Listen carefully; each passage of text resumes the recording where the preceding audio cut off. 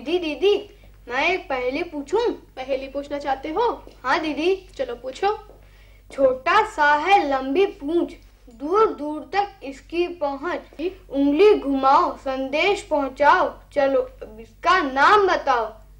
उंगली घुमाओ संदेश पहुंचाओ। टेलीफोन। अच्छा लेकिन अब मैंने पहली पूछी है ना तुम्हारी? हाँ दीदी। तो अब मेरी बारी। अब मैं तुम लोगों से पहली पूछूँगी? पूछिए दीदी। पूछूँ? ध्यान से सुनना। टेप टीवी टेलीफोन और ट्रेन। टेप टीवी टेलीफोन और ट्रेन। बतलाओ है किसकी देन? मैं बताऊँ दीदी नहीं इना बताएगी। विज्ञान का। टेप टीवी टेलीफोन रेडियो ये सब विज्ञान के। या यूँ कहो कि प्रौद्योगिकी के देन है। और आज मैं तुम सबको दूर संचार में प्रौद्योगिकी के महत्व पर बताऊँगी। ठीक है ना? दीदी दूर संचार क्या होता है? और दूर संचार में प्रौद्योगिकी का क्या लेना देना? हम्म दूर संचार क्या होता है?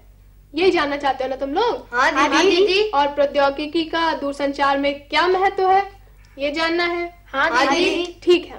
पहले तुम्हें ये जानना है कि दूर संचार क्या होता है और उससे भी पहले दूर संचार की ज़रूरत क्यों पड़ी?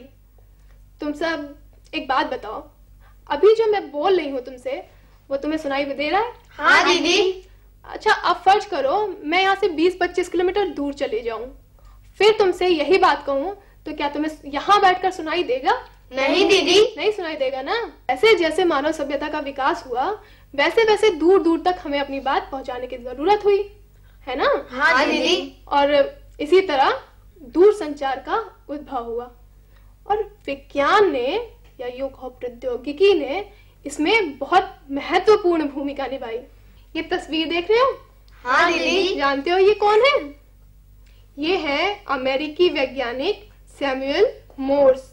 इन्होंने सबसे पहले टेलीग्राफ का आविष्कार किया। टेलीग्राफ के माध्यम से हम कुछ संकेतों द्वारा दूर दूर तक अपनी बात पहुँचा सकते थे।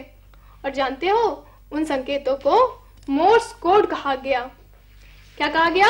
मोर्स कोड अब तुम सब अपना दिमाग लगाओ और मुझे ये बताओ कि इससे इन संकेतों को मोर्स कोड ही क्यों कहा गया? इनके नाम से। बिल्कुल ठीक। इसके बाद बारी आती है टेलीफोन की। टेलीफोन के बारे में तो तुम सबने सुना होगा। हाँ दीदी। तुम लोगों के घरों में भी होगा। हाँ दीदी। अच्छा ये बताओ टेलीफोन का उपयोग हम क्यों करते हैं? दीदी टेलीफोन के द्वारा हम दूर दूर तक किसी से भी कहीं भी बातें कर सकते हैं। बिल्कुल ठीक बिल्कुल ठीक बताया तुमने। टेलीफोन के माध्यम से हम कहीं भी कभी भी किसी से भी कितनी भी दूर बात कर सकते हैं। तुम जानते हो टेलीफोन की खोज किसने की थी? हाँ दीदी जी। किसने की थी? ग्राहम बेल ने। बिल्कुल ठीक। ये देखो ये है अलेक्जेंडर ग्राहम बेल। ये अमेरिका के वैज्ञानिक थे। इन्होंने 1876 में टेलीफोन का आविष्कार किया। और तुम तो देख ही रहे हो टेलीफोन हमारे लिए कितना उपयोगी है। हाँ दीदी। अच्छा बच्चों ये तुम ये जानना चाहोगे कि टेलीफोन के माध्यम से हम इतनी दूर दूर तक बात कैसे पहुँचा लेते हैं? हाँ दीदी। जानना चाहोगे ना? हाँ दीदी। अच्छा अब मुझे ये बताओ कि तुम लोग सड़क के किनारे जाते हुए कभी खंबे देखे? हाँ दीदी। किस चीज़ के खंबे होते हैं वो? बिजली के। बिजली के? और खंबे कोई नहीं देखे तुमने वहाँ? हाँ देखे हैं दीदी। किस चीज़ के खंबे देखे हैं तुमने सड़क के किनारे? टेलीफोन के। टेलीफोन के बिल्कुल ठीक। मैं यही जानना चाह रही थी कि तुम लोगों ने कभी सड़क के किनारे टेलीफोन के खंबे देखे हैं कि नहीं देखे? अच्छा जब तुमने खंबे देखे तो ये भी देखा होगा कि उसमें तार लगे होते हैं। हाँ दीदी। सड़क के किनारे से होकर जाते हैं। हाँ दीदी। तो जो हम बात करते हैं टेलीफोन के माध्यम से वो इन्हीं तारों और खंभों की वजह से उनके सहायता से एक स्थान से दूसरे स्थान तक पहुँचते हैं। तो समझ गए? टेलीफोन से एक स्थान से बात दूसरे स्थान तक कैसे पहुँचती है? हाँ दीदी कैसे? तारों के माध्यम से। तारों के माध्यम से। लेकिन बच्चों तुम ये भी जानते होगे कि तारों के माध्यम से हम सब जगह जो सूचनाएँ पहुंचाते हैं उसमें एक दिक्कत भी आ सकती है। जानते हो क्या? नहीं ना? नहीं दीदी। देखो तुमने नदी देखी होगी। हाँ दीदी। कई जगह नदी होती है कई जगह पहाड़ होते हैं कई जगह खाई हो जाती है है ना? तो इन स्थानों पर तार ले जाना थोड़ा मुश्किल काम है है ना? हाँ दीदी। और उन स्थानों पर खंबे गाड़ना भी उतना ही मुश्किल है। हाँ दीदी। तो अब क्या किया जाए? मैं तुम्हें बताती हूँ। इसके लिए भी एक वैज्ञानिक थे हेंज। वो जर्मनी के रहने वाले थे। उन्होंने एक प्रणाली खोज निकाली जिसे बेतार के तार की प्रणाली कहा गया। क्या कहा गया? बेतार के तार। बेतार के तार की प्रणाली। इसमें क्या कहा गया? ठीक से बताइए। बेतार के तार की प्रणाली। इस प्रणाली में क्या होता था कि जो सूचनाएँ होती थी जो बातें होती थी उसे विद्युत चुंबकीय तरंगों में परिवर्तित कर दिया जाता था। किसमें? विद्युत चुंबकीय तरंगों में। परिवर्तित कर दिया जाता था। ठीक?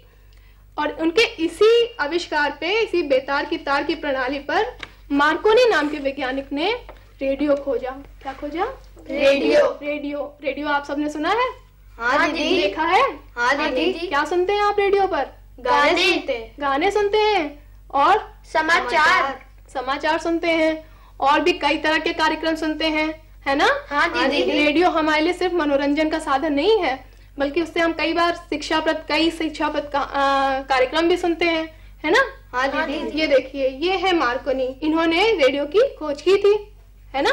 हाँ दीदी ये इटली के रहने वाले थे। अच्छा बच्चों अब आप मुझे ये बताइए कि आपने देखा कि दूर संचार हम टेलीफोन से भी करते हैं ठीक? हाँ दीदी और दूर संचार हम रेडियो से भी कर लेते हैं ठीक? हाँ दीदी तो दूर टेलीफोन के माध्यम से दूर संचार और रेडियो के माध्यम से दूर संचार इन दोनों में अंतर क्या है? टेलीफोन के द्वारा हम बातें कर सकते हैं। और रेडियो से? हम गाने सुन सकते हैं। हम्म ठीक कह रहे हो वैसे तुम।